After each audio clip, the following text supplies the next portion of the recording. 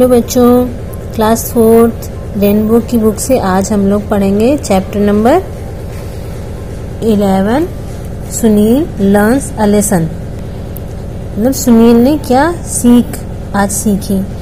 तो पहले मैं आप लोगों को एक स्टोरी सुनाती हूँ, इसी की पूरा हिंदी में आपको। सुनील एक बच्चा था, उसके पापा ने उसको केला दिया खाने को और उसने केला खाकर अपनी खिड़की से छिलका बाहर फेंक दिया। बाहर वो छिलका सड़क पर गिरा, जहाँ पर एक बूढ़े अंकल जा रहे थे और अंकल जी का पैर स्लिप कर गया, यानी कि फिसल गए वो और गिर गए। फिर उनको चोट लग गई। इस पर सुनील हंसने लगा।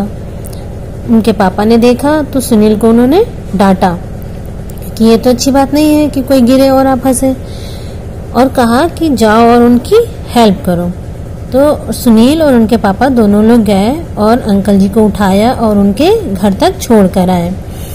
जब घर तक छोड़कर आए तो अंकल जी ने उनको, दोनों को थैंक यू बोला और अपनी इस गलती पर सुनील को बहुत शर्मिंदगी हुई। उसको एहसास हुआ कि मैंने बहुत गलत काम किया है। फिर उसने प्रॉमिस किया पापा से कि अब मैं कभी भी छिलका इधर उधर नहीं फेंकूँगा, उसको डस्टबिन में ही डालूँगा। जैसे आप लोग स्कूल में सारा कूड़ा डस्टबिन में डालते हैं केला खाने के बाद, जब फ्रूट्स मिलते थे, वैसे ही उसने भी कहा कि अब मैं डस्टबिन में ही डालूँगा। अब इस चैप्टर को हम लाइन बाय लाइन पढ़ेंगे और उसके बाद में आप लोग इसके डिफ़िकल्ट वर्ड्स लिखेंगे। फिर क्वेश्चन आंसर्स कर कर, काम कर कर आप मुझे सेंड करेंगे। ठीक है? चलिए पढ़ते हैं। इट वॉज़ अ संडे ये रविवार का दिन था। Sunil was having breakfast with his father Sunil अपने पापा के साथ ब्रेकफास्ट यानी कि सुबह का नाश्ता कर रहा था। His father gave him banana, a banana. एक, बनाना दिया उसके पापा ने उसको, केला दिया। He ate it and shoe the peel outside the window on a road उसने केला तो खा लिया और छिलका खिड़की के बाहर सड़क पर फेंक दिया। An old man was walking there एक बूढ़े आदमी वहाँ पर टहल रहे थे।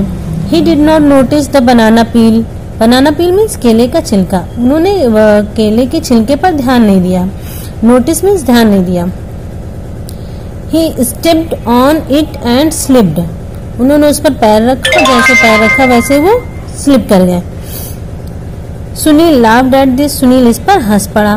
The old man could not get up वो बूढ़े आदमी उठ नहीं पा रहे थे because he got injured injured means चोट लग गई थी, क्योंकि उन्हें चोट लग गई थी, इसलिए वो उठ नहीं पा रहे थे। His father who was watching all this his father में सुनील के पिताजी जो सारी चीज़ें देख रहे थे, वो उन्होंने सुनील के पास आकर कहा came to Sunil and said don't laugh हंसो मत the old man fell because you threw the banana peel on the road बूढ़े आदमी इसलिए गिरे हैं क्योंकि तुमने केले का छिलका सड़क पर फेंका था। You should have put it in the dustbin तुम्हें उसे डस्टबिन में फेंकना चाहिए था। Now let's go and help him चलो और उनकी मदद करो। They help the old man to get up उन्होंने बूढ़े आदमी की सहायता की उठने में and took him to his home और उसको उनके घर पहुँचाया। The old man thanked him बूढ़े आदमी ने उनको धन्यवाद कहा। क्योंकि जब आपकी कोई हेल्प करता है तो हम उसे धन्यवाद कहते हैं थैंक यू बोलते हैं। Sunil felt ashamed for his wrong behaviour wrong means गलत बिहेवियर मीन्स व्यवहार। सुनील को बहुत ही ज़्यादा शर्मिंदगी महसूस हुई फेल्ट मीन्स महसूस हुई अपने इस बुरे व्यवहार पे। And said sorry to the old man और उसने बूढ़े आदमी को सॉरी कहा। जब भी आपको कोई गलती फील हो कि हमने गलत कहा तो हमें सॉरी कहना चाहिए। लेटर लेटर मीन्स बाद में। ये लेटर चिट्ठी वाला लेटर नहीं एल ए टी आर है।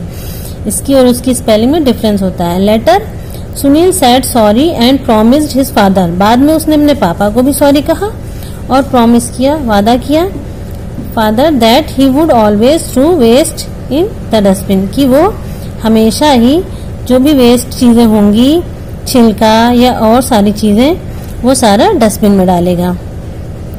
ओके बच्चों, इसको आप दोबारा से रीड करिएगा। कहीं कोई प्रॉब्लम आती है तो आप पूछिएगा।